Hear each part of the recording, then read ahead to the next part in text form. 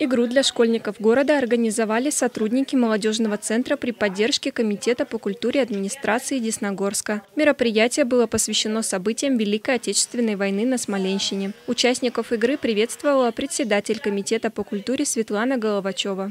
Я вам желаю, всем желаю удачи, всем желаю почерпнуть побольше знаний, ну и всем желаю, конечно же, победы.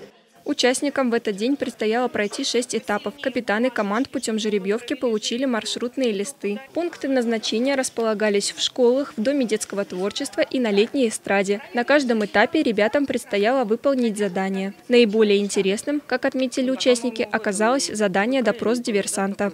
Очень интересное задание, необычное. Я в первый раз ну, прохожу. Все участники команды работали и ну, я думаю, неплохо. За каждое выполненное правильно задание команды получали баллы. Все ребята молодцы, очень активно, э, э, активно участвуют в квесте, с интересом проходят наши испытания. После подведения итогов первое место заняла команда школы номер три.